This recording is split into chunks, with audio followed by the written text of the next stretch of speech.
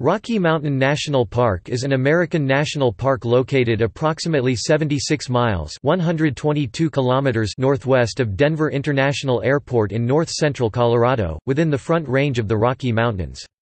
The park is situated between the towns of Estes Park to the east and Grand Lake to the west. The eastern and western slopes of the Continental Divide run directly through the center of the park with the headwaters of the Colorado River located in the park's northwestern region. The main features of the park include mountains, alpine lakes and a wide variety of wildlife within various climates and environments, from wooded forests to mountain tundra. The Rocky Mountain National Park Act was signed by President Woodrow Wilson on January 26, 1915, establishing the park boundaries and protecting the area for future generations. The Civilian Conservation Corps built the main automobile route, Trail Ridge Road, in the 1930s.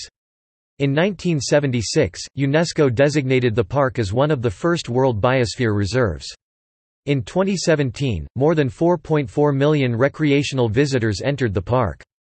The park is one of the most visited in the national park system, ranking as the third most visited national park in 2015. The park has a total of five visitor centers with park headquarters located at the Beaver Meadows Visitor Center, a National Historic Landmark designed by the Frank Lloyd Wright School of Architecture at Taliesin West.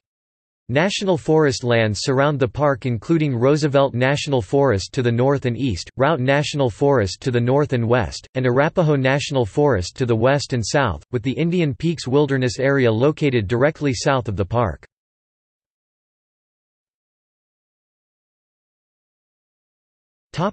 History The history of Rocky Mountain National Park began when Paleo-Indians traveled along what is now Trail Ridge Road to hunt and forage for food. Ute and Arapaho people subsequently hunted and camped in the area. In 1820, the Long Expedition, led by Stephen H. Long for whom Long's Peak was named, approached the Rockies via the Platte River. Settlers began arriving in the mid-1800s, displacing the Native Americans who mostly left the area voluntarily by 1860, while others were removed to reservations by 1878. Lulu City, Dutchtown, and Gaskill in the Never Summer Mountains were established in the 1870s when prospectors came in search of gold and silver. The boom ended by 1883 with miners deserting their claims.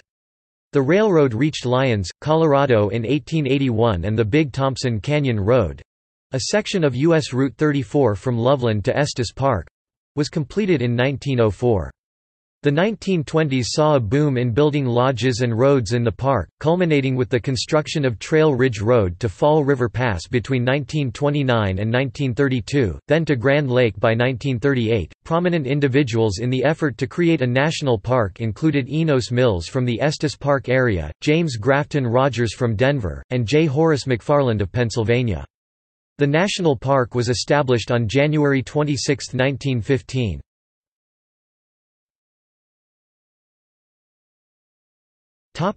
Geography Rocky Mountain National Park encompasses 265,461 acres, 414.78 square miles, 1074.28 square kilometers of federal land, with an additional 253,059 acres, 395.40 square miles, 1024.09 square kilometers of US Forest Service wilderness adjoining the park boundaries. The Continental Divide runs generally north-south through the center of the park, with rivers and streams on the western side of the divide flowing toward the Pacific Ocean while those on the eastern side flow toward the Atlantic. A geographical anomaly is found along the slopes of the Never Summer Mountains where the Continental Divide forms a horseshoe-shaped bend for about 6 miles (9.7 kilometers), heading from south to north but then curving sharply southward and westward out of the park. The sharp bend results in streams on the eastern slopes of the range joining the headwaters of the Colorado River that flow south and west, eventually reaching the Pacific. Meanwhile, streams on the western slopes join rivers that flow north and then east and south, eventually reaching the Atlantic. The headwaters of the Colorado River are located in the park's northwestern region.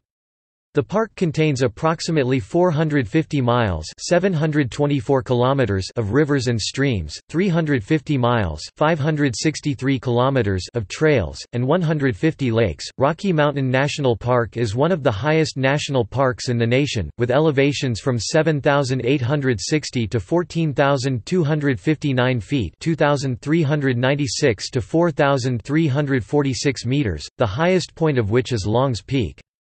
Trail Ridge Road is the highest paved-through road in the country, with a peak elevation of 12,183 feet 3,713 meters. 60 mountain peaks over 12,000 feet 3,658 meters high provide scenic vistas. On the north side of the park, the Mummy Range contains a number of 13er peaks, including Hagues Peak, Mummy Mountain, Fairchild Mountain, Epsilon Mountain, and Mount Chiquita. Several small glaciers and permanent snowfields are found in the high mountain cirques. There are five regions, or geographical zones, within the park.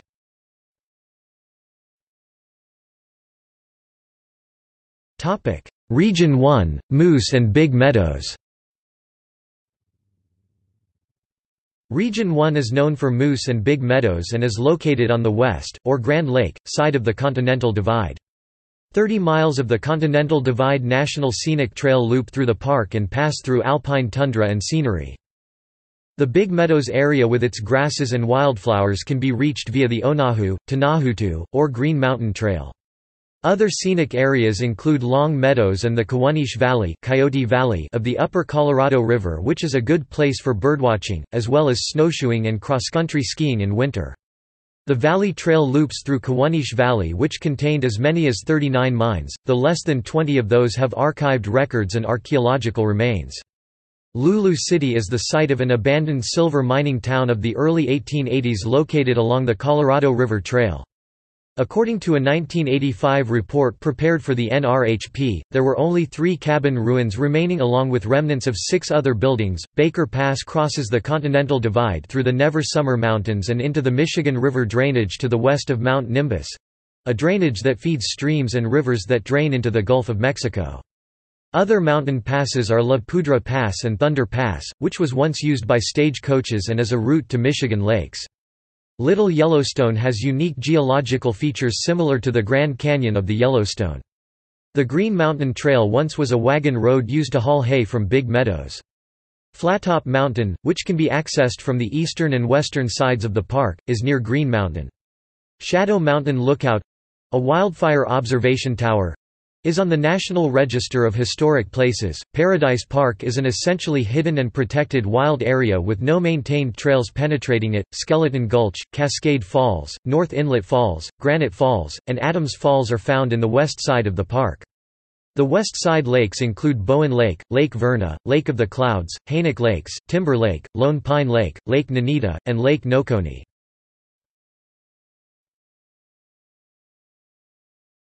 Topic: Region 2, Alpine region Region 2 is the alpine region of the park with accessible tundra trails at high elevations—an area known for its spectacular vistas. Within the region are Mount Ida, with tundra slopes and a wide-open view of the Continental Divide, and Specimen Mountain, which has a steep trail and the opportunity to view bighorn sheep and marmots. Forest Canyon Pass is near the top of the old Ute Trail that once linked villages across the Continental Divide. Chapin Pass Trail traverses a dense forest to beautiful views of the Chapin Creek Valley, proceeding onward above timberline to the western flank of Mount Chapin. Tundra Communities Trail, accessible from Trail Ridge Road, is a hike offering tundra views and alpine wildflowers. Other trails are Tombstone Ridge and Ute Trail, which starts at the tundra and is mostly downhill from Ute Crossing to Upper Beaver Meadows, with one backcountry camping site. Cache La Poudre River Trail begins north of Poudre Lake on the west side of the valley near Milner Pass and heads downward toward the Mummy Pass Trail junction. Lake Irene is a recreation and picnic area.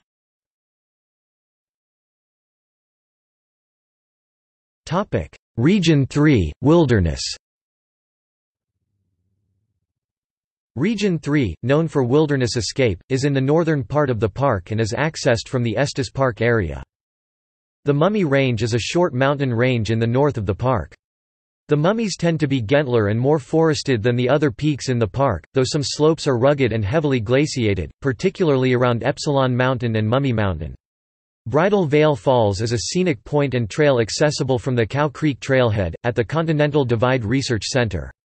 West Creek Falls and Chasm Falls, near Old Fall River Road, are also in this region. The alluvial fan trail leads to a bridge over the river that had been the site of the Lawn Lake flood. Lumpy Ridge Trail leads to Paul Bunyan's Boot at about 1.5 miles (2.4 kilometers) from the trailhead, then Gem Lake, and a further 2.2 miles (3.5 kilometers) to Balanced Rock.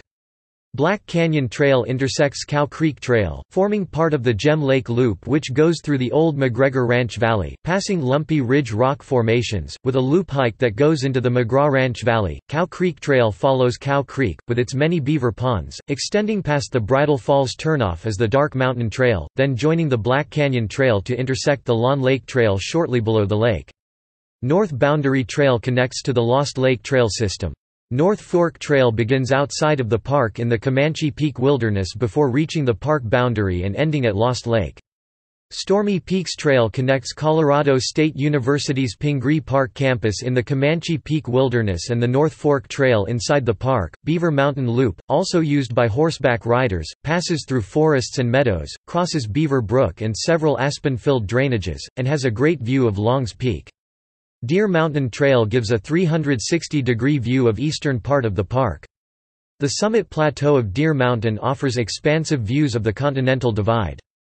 During the winter, the lower trail generally has little snow, though packed and drifted snow are to be expected on the switchbacks. Snow cover on the summit may be 3 to 5 feet deep, requiring the use of snowshoes or skis. The trail to Lake Estes in Estes Park meanders through a bird sanctuary, beside a golf course, along the Big Thompson River and Fish Creek, through the lakeside picnic area and along the lakeshore. The trail is used by birdwatchers, bikers and hikers. Lawn Lake Trail climbs to Lawn Lake and Crystal Lake, one of the park's deepest lakes, in the alpine ecosystem and along the course of the Roaring River. The river shows the massive damage caused by a dam failure in 1982 that claimed the lives of three campers. The trail is a strenuous snowshoe hike in the winter.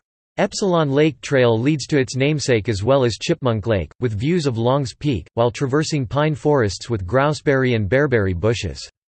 The trail also offers views of the canyon gouged out by rampaging water that broke loose from Lawn Lake Dam in 1982.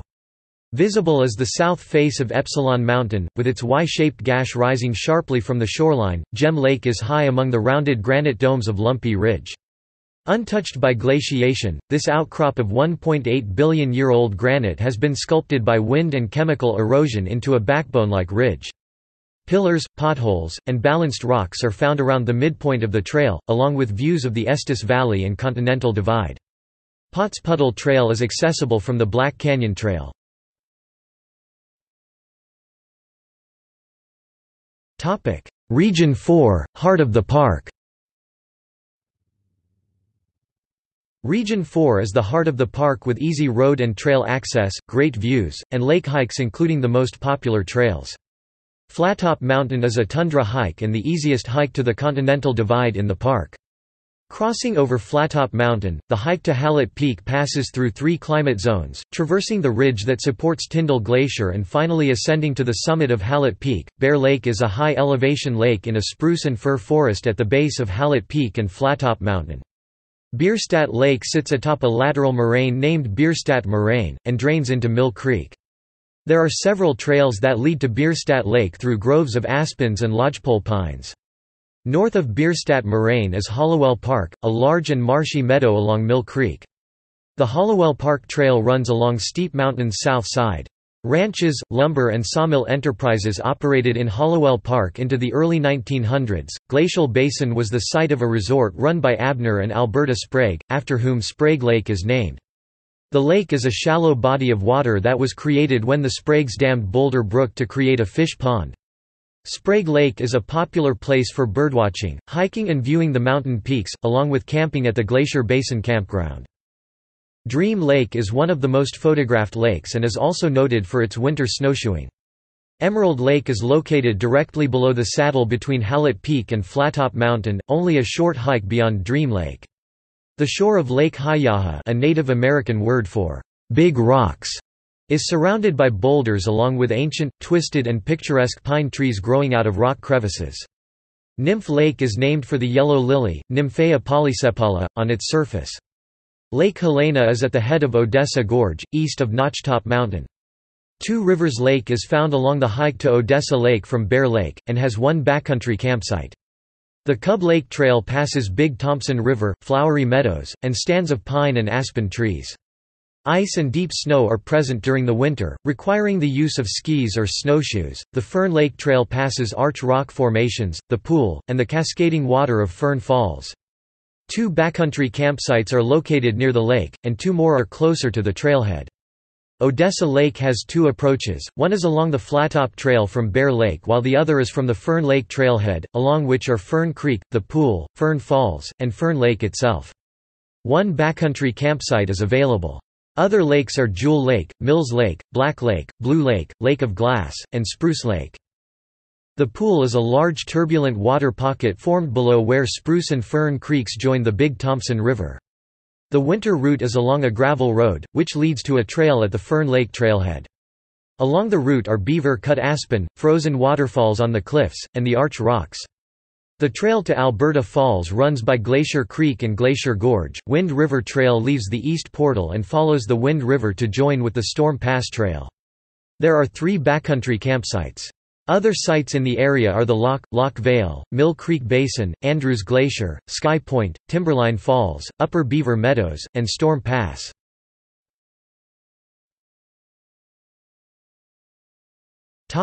Region 5, Waterfalls and Backcountry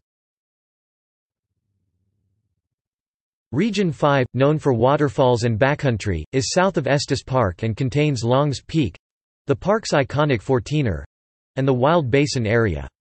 Other peaks and passes include Lily Mountain, Estes Cone, Twin Sisters, Boulder Grand Pass, and Granite Pass.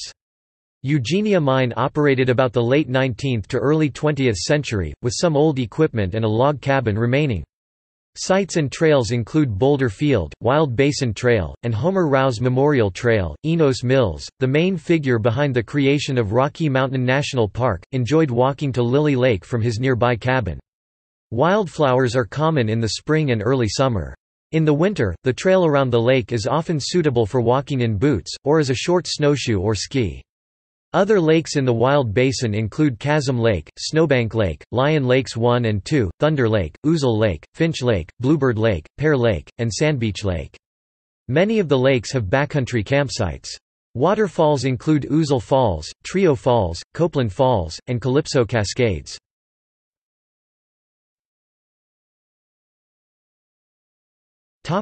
Climate The complex interactions of elevation, slope, exposure and regional scale air masses determine the climate within the park, which is noted for its extreme weather patterns. A collision of air masses from several directions produces some of the key weather events in the region. When cold Arctic air from the north meets warm moist air from the Gulf of Mexico at the Front Range, intense, very wet snowfalls with total snow depth measured in the feet accumulate in the park. Topic: Elevation. Higher elevation areas within the park receive twice as much precipitation as lower elevation areas, generally in the form of deep winter snowfall. Arctic conditions are prevalent during the winter, with sudden blizzards, high winds, and deep snowpack. High country overnight trips require gear suitable for minus 35 degrees Fahrenheit or below. The subalpine region does not begin to experience spring-like conditions until June. Wildflowers bloom from late June to early August. Below 9,400 feet (2,865 meters), temperatures are often moderate, although nighttime temperatures are cool, as is typical of mountain weather. Spring comes to the montane area by early May, when wildflowers begin to bloom.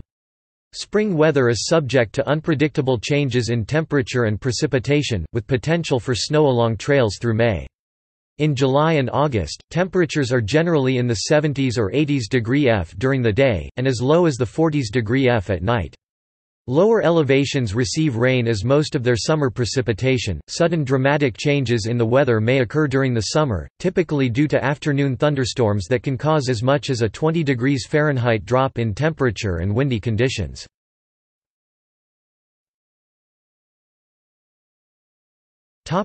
Continental Divide. The park's climate is also affected by the Continental Divide, which runs northwest to southeast through the center of the park atop the high peaks. The Continental Divide creates two distinct climate patterns, one typical of the east side near Estes Park and the other associated with the Grand Lake area on the park's west side. The west side of the park experiences more snow, less wind, and clear cold days during the winter months.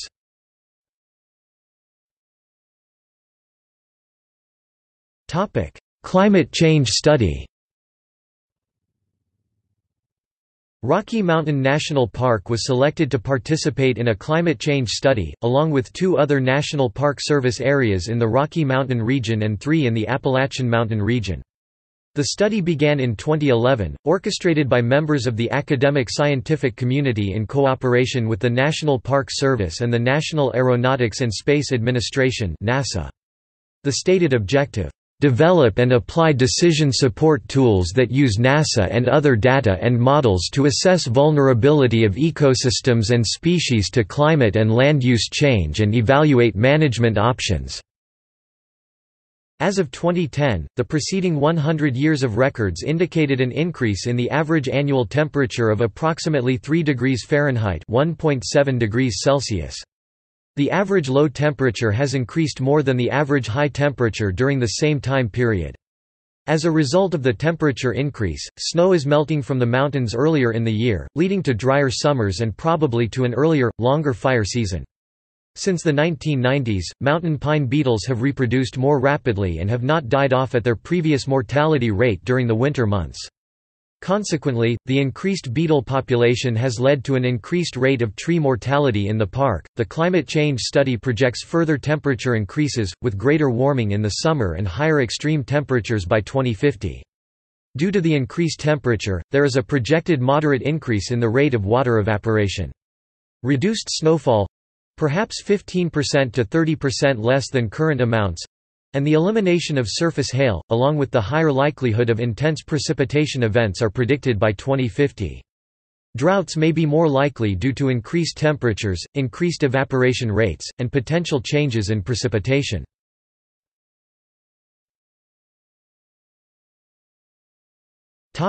Geology Precambrian metamorphic rock formed the core of the North American continent during the Precambrian eon 4.5 to 1 billion year ago. During the Paleozoic era, western North America was submerged beneath a shallow sea, with a seabed composed of limestone and dolomite deposits many kilometers thick. Pikes Peak granite formed during the late Precambrian eon, continuing well into the Paleozoic era, when mass quantities of molten rock flowed, amalgamated, and formed the continents about 1 billion to 300 million years ago. Concurrently, in the period from 500 to 300 million years ago, the region began to sink while lime and mud sediments were deposited in the vacated space. Eroded granite produced sand particles that formed strata—layers of sediment, in the sinking basin, about 300 million years ago, the land was uplifted creating the ancestral Rocky Mountains. Fountain formation was deposited during the Pennsylvanian period of the Paleozoic era, 290 to 296 million years ago. Over the next 150 million years, the mountains uplifted, continued to erode, and covered themselves in their own sediment. Wind, gravity, rainwater, snow, and glacial ice eroded the granite mountains over geologic time scales. The ancestral Rockies were eventually buried under subsequent strata. The Pierre Shale Formation was deposited during the Paleogene and Cretaceous periods about 70 million years ago. The region was covered by a deep sea—the Cretaceous Western Interior Seaway—which deposited massive amounts of shale on the seabed. Both the thick stratum of shale and embedded marine life fossils including ammonites and skeletons of fish and such marine reptiles as mosasaurs, plesiosaurs, and extinct species of sea turtles, along with rare dinosaur and bird remains were created during this time period. The area now known as Colorado was eventually transformed from being at the bottom of an ocean to dry land again, giving yield to another fossiliferous rock layer known as the Denver Formation. At about 68 million years ago, the Front Range began to rise again due to the Laramide orogeny in the west. During the Cenozoic era, block uplift formed the present Rocky Mountains. The geologic composition of Rocky Mountain National Park was also affected by deformation and erosion during that era. The uplift disrupted the older drainage patterns and created the present drainage patterns.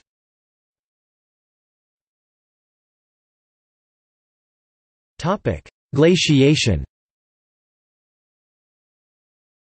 Glacial geology in Rocky Mountain National Park can be seen from the mountain peaks to the valley floors. Ice is a powerful sculptor of this natural environment and large masses of moving ice are the most powerful tools. Telltale marks of giant glaciers can be seen all throughout the park. Streams and glaciations during the Quaternary period cut through the older sediment, creating mesa tops and alluvial plains, and revealing the present Rocky Mountains. The glaciation removed as much as 5,000 feet meters of sedimentary rocks from earlier inland sea deposits. This erosion exposed the basement rock of the ancestral Rockies. Evidence of the uplifting and erosion can be found on the way to Rocky Mountain National Park in the hogbacks of the Front Range foothills. Many sedimentary rocks from the Paleozoic and Mesozoic eras exist in the basins surrounding the park. While the glaciation periods are largely in the past, the park still has several small glaciers. The glaciers include Andrews, Sprague, Tyndall, Taylor, Rowe, Mills, and Moomaw glaciers.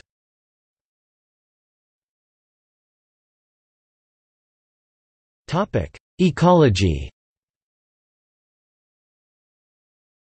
Colorado has one of the most diverse plant and animal environments of the United States, partially due to the dramatic temperature differences arising from varying elevation levels and topography.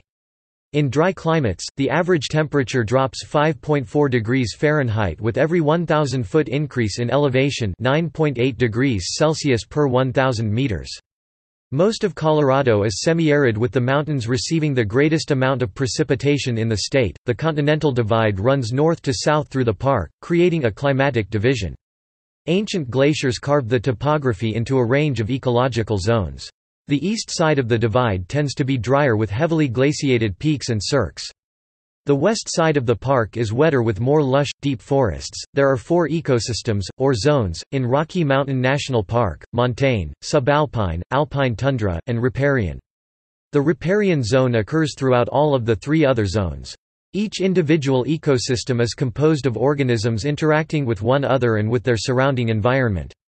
Living organisms biotic, along with the dead organic matter they produce, and the abiotic non-living environment that impacts those living organisms water, weather, rocks, and landscape are all members of an ecosystem. The park was designated a World Biosphere Reserve by the United Nations in 1976 to protect its natural resources. The park's biodiversity includes afforestation and reforestation, ecology, inland bodies of water, and mammals, while its ecosystems are managed for nature conservation, environmental education and public recreation purposes. The areas of research and monitoring include ungulate ecology and management, high-altitude revegetation, global change, acid precipitation effects, and aquatic ecology and management.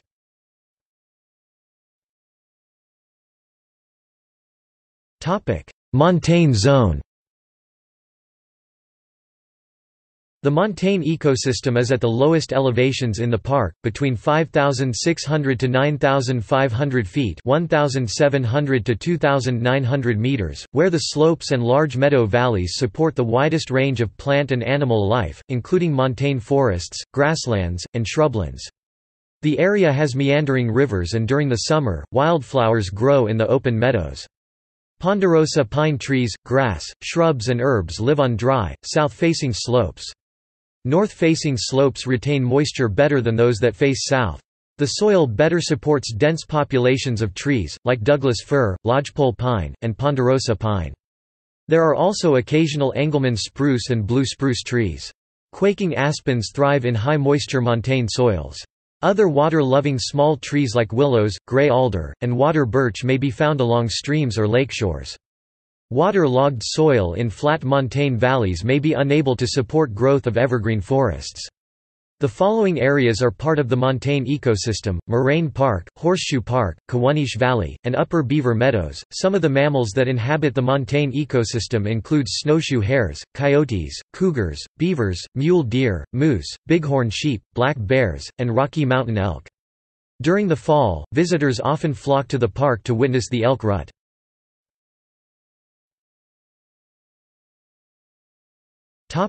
Subalpine zone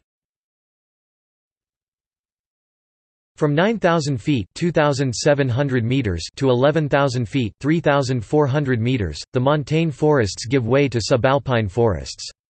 Forests of fir and Engelmann spruce cover the mountainsides in subalpine areas. Trees grow straight and tall in the lower subalpine forests, but become shorter and more deformed the nearer they are to the tree line.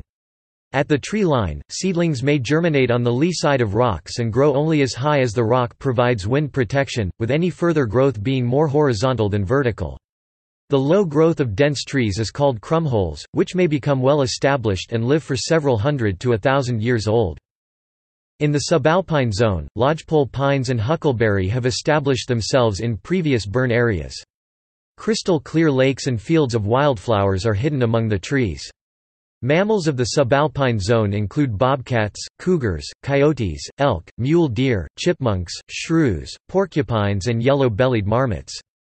Black bears are attracted by the berries and seeds of subalpine forests. Clark's nutcracker, Steller's jay, mountain chickadee and yellow-rumped warbler are some of the many birds found in the subalpine zone. Sprague Lake and Odessa Lake are two of the park's subalpine lakes.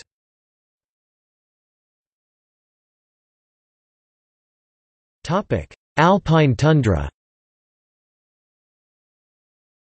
Above tree line, at approximately 11,000 feet 3,400 meters, trees disappear and the vast alpine tundra takes over. Over one-third of the park resides above the tree line, an area which limits plant growth due to the cold climate and strong winds. The few plants that can survive under such extreme conditions are mostly perennials. Many alpine plants are dwarfed at high elevations, though their occasional blossoms may be full-sized. Cushion plants have long taproots that extend deep into the rocky soil. Their diminutive size, like clumps of moss, limits the effect of harsh winds. Many flowering plants of the tundra have dense hairs on stems and leaves to provide wind protection or red-colored pigments capable of converting the sun's light rays into heat. Some plants take two or more years to form flower buds, which survive the winter below the surface and then open and produce fruit with seeds in the few weeks of summer. Grasses and sedges are common where tundra soil is well developed. Non-flowering lichens cling to rocks and soil. Their enclosed algal cells can photosynthesize at any temperature above 32 degrees Fahrenheit 0 degrees Celsius, and the outer fungal layers can absorb more than their own weight in water. Adaptations for survival amidst drying winds and cold temperatures may make tundra vegetation seem very hardy, but in some respects it remains very fragile. Footsteps can destroy tundra plants and it may take hundreds of years to recover. Mammals that live on the alpine tundra, or visit during the summer season, include bighorn sheep, elk, badgers, pikas, yellow-bellied marmots, and snowshoe hares. Birds include prairie falcons, white-tailed ptarmigans, and common ravens. Flowering plants include mertensia, sky pilot, alpine sunflowers, alpine dwarf columbine, and alpine forget-me-not. Grasses include kobresia, spike trisetum, spreading wheatgrass, and tufted hairgrass.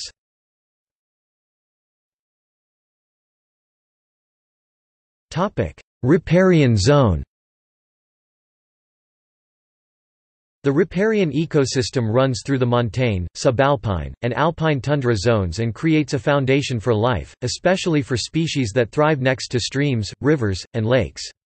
The headwaters of the Colorado River, which provides water to many of the southwestern states, are located on the west side of the park.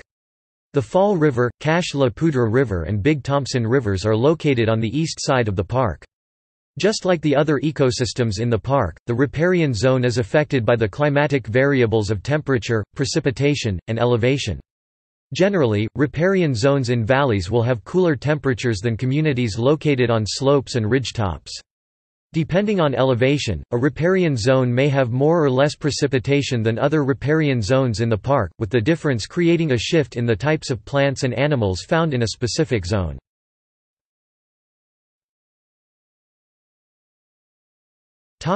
Wildlife Rocky Mountain National Park is home to many species of animals, including nearly 70 mammals and almost 300 species of birds. This diversity is due to the park's varying topography, which creates a variety of habitats. However, some species have been extirpated from the park, including the gray wolf, the wolverine, the grizzly bear, and the American bison.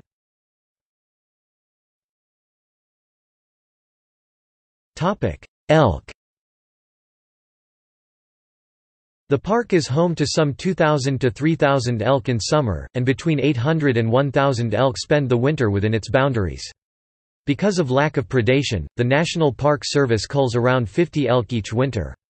Overgrazing by elk has become a major problem in the park's riparian areas, so much so that the NPS fences them out of many critical wetland habitats to let willows and aspens grow.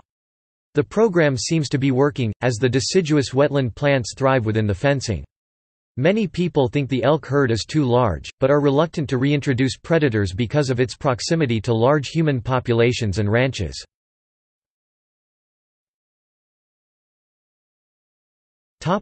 Other ungulates Apart from elk, many other ungulates reside in the park, including bighorn sheep, moose, and mule deer.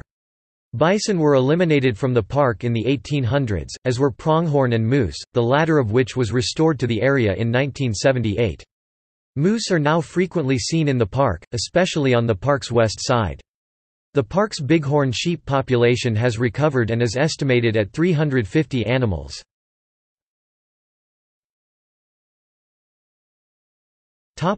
Predators The park is home to many predatory animals, including Canadian lynx, foxes, bobcat, cougar, black bear, and coyotes. Wolves and grizzly bears were extirpated in the early 1900s. Most of these predators kill smaller animals, but mountain lions and coyotes kill deer and occasionally elk. Bears also eat larger prey. Moose have no predators in the park. Black bears are relatively uncommon in the park, numbering only 24 to 35 animals. They also have fewer cubs and the bears seem skinnier than they do in most areas. Canadian lynx are quite rare within the park, and they have probably spread north from the San Juan Mountains, where they were reintroduced in 1999. Cougars feed mainly on mule deer in the park, and live 10 to 13 years. Cougar territories can be as large as 500 square miles.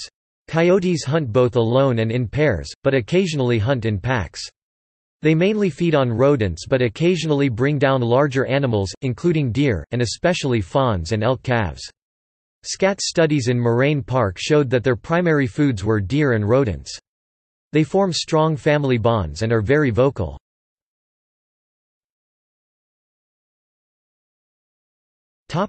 Recreational activities The park contains a network of trails that range from easy, paved paths suitable for all visitors including those with disabilities, to strenuous mountain trails for experienced, conditioned hikers as well as off-trail routes for backcountry hikes. Most trails are for summer use only, since at other times of the year many trails are not safe due to weather conditions. The park provides dozens of designated backcountry campsites and horseback riding is permitted on most trails.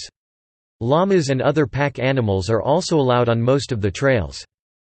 Rock climbing and mountaineering opportunities include Lumpy Ridge, Hallett Peak, and Longs Peak, the highest peak in the park, with the easiest route being the Keyhole route.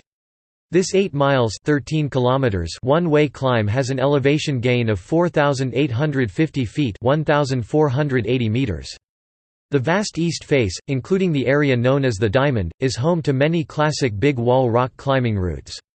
Many of the highest peaks have technical ice and rock routes on them, ranging from short scrambles to long multi-pitch climbs. Fishing is found in the many lakes and streams in the park, and camping is allowed at several designated campgrounds. During the winter, only the edges of the park are accessible for recreational activities since most of Trail Ridge Road is closed due to heavy snow. Winter activities include snowshoeing and cross-country skiing which are possible from either the Estes Park or Grand Lake entrances. On the east side near Estes Park, skiing and snowshoeing trails are available off Bear Lake Road, such as the Bear Lake, Bierstadt Lake, and Sprague Lake trails and at Hidden Valley. Slopes for sledding are also available at Hidden Valley. The west side of the park near Grand Lake also has viable snowshoeing trails. Backcountry-style telemark skiing and snowboarding can be enjoyed after climbing up one of the higher slopes, late in the snow season after avalanche danger has subsided.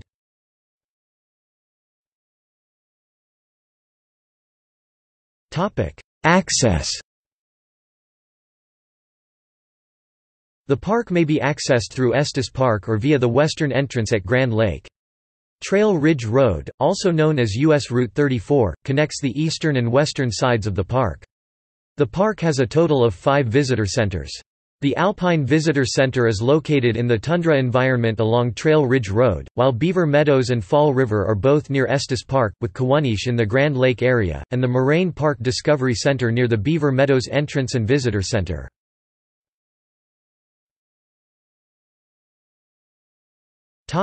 Trail Ridge Road and other roads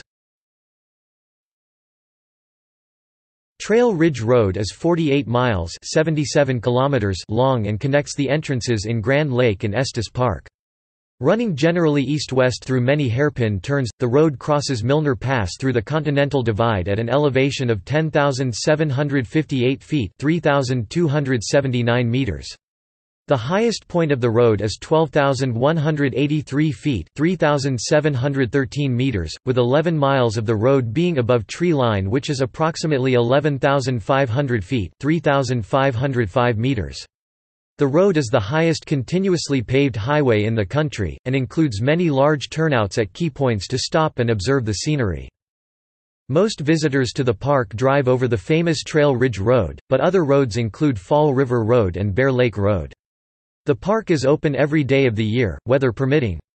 Due to the extended winter season in higher elevations, Trail Ridge Road between many parks curve and the Colorado River trailhead is closed much of the year. The road is usually open again by Memorial Day and closes in mid-October, generally after Columbus Day. Fall River Road does not open until about July 4 and closes by, or in, October for vehicular traffic. Snow may also fall in sufficient quantities in higher elevations to require temporary closure of the roads into July, which is reported on the road status site.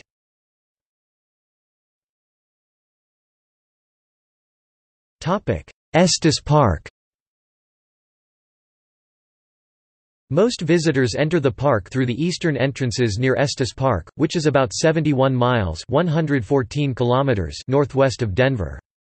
The most direct route to Trail Ridge Road is the Beaver Meadows entrance, located just west of Estes Park on U.S. Route 36, which leads to the Beaver Meadows Visitor Center and the park's headquarters.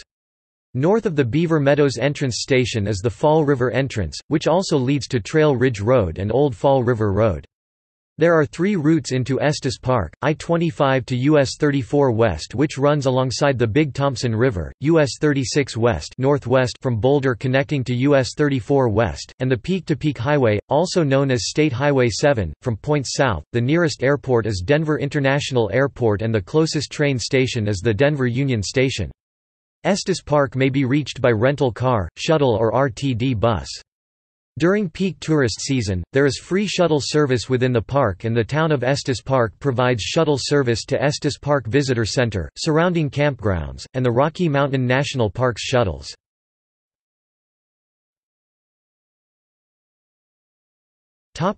Grand Lake Visitors may also enter at the western side of the park from US 34 near Grand Lake. US 34 is reached by taking US 40 north from I-70. The closest railroad station is the Amtrak station in Granby, which is 20 miles 32 kilometers from the western entrance of the park. Taxi service is available into the park.